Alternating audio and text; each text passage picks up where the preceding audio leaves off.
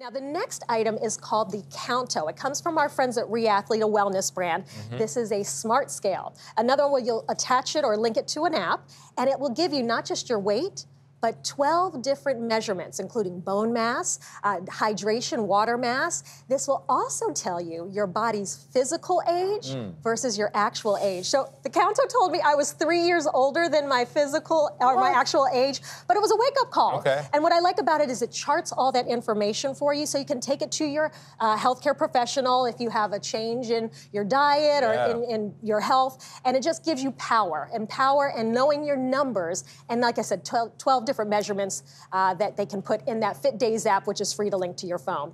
50% off today, so it's under $50. Head to cbsdeals.com uh, to get that really in cool. your home. It is, and it's a smaller scale too. And stylish too. You can slide it under, it's or you leave it out, and it yeah. looks sleek. It looks good.